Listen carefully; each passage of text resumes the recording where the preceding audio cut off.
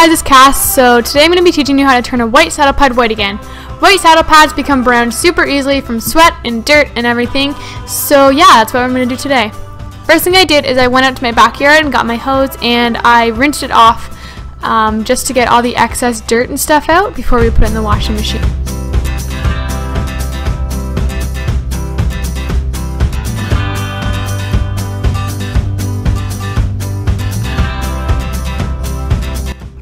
Then I put it in the wash with just a basic dishwashing packet. Mine is from Costco. It's not really anything special.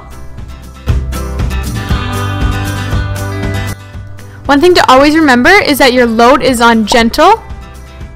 And you also always want to remember to keep your water on cold. My fancy little mixture here is one part bleach, one part water, and one part dish soap. I just took that with a dishcloth and I scrubbed it into my pad.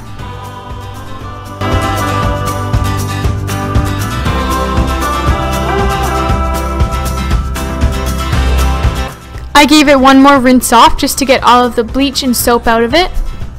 Make sure not to get any of the stuff that's falling off the pad onto your clothes because since there's bleach in it, it will stain.